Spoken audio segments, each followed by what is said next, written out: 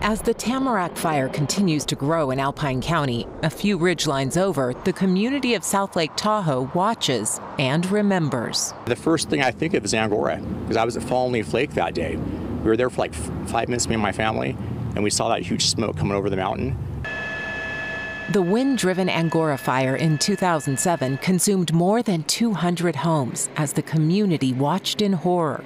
Now, residents are quick to be concerned when they see smoke from a nearby fire. It's far enough away where we can we can watch it closely and have some time to prepare if anything does change.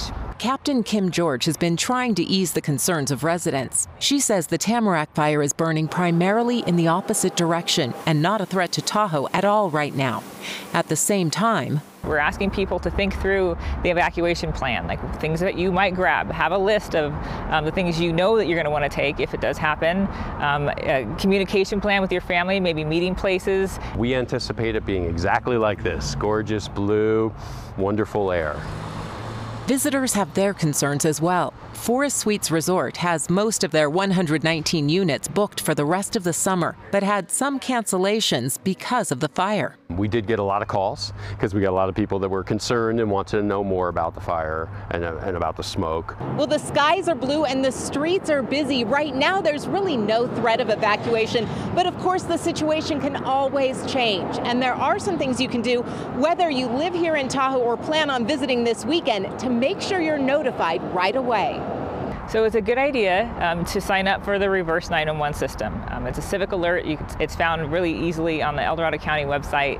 The county's reverse 911 system, found at ready.edso.org, is the most accurate way for tourists and residents to receive notifications, including potential evacuation orders.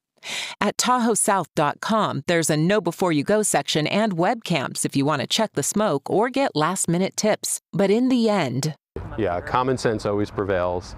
The advice in Tahoe is don't be scared, just be smart, and plan ahead in the event that the winds shift and the Tamarack fire does become a bigger threat to this bustling community.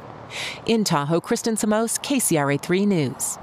Another resource you may want to consult if you're heading to South Lake Tahoe is the city website, which is cityofslt.com. It has fire updates, current burn restrictions, and emergency information.